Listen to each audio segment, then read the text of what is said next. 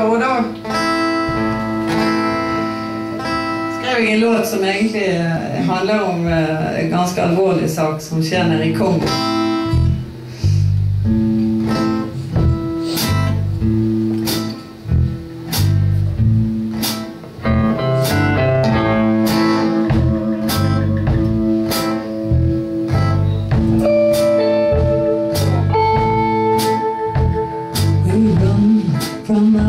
place we run from our home. I'm hungry and worn out, I've no place to go. Oh, mama,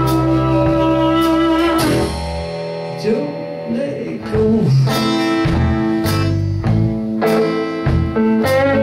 The soldiers are criminals, and the government had no words.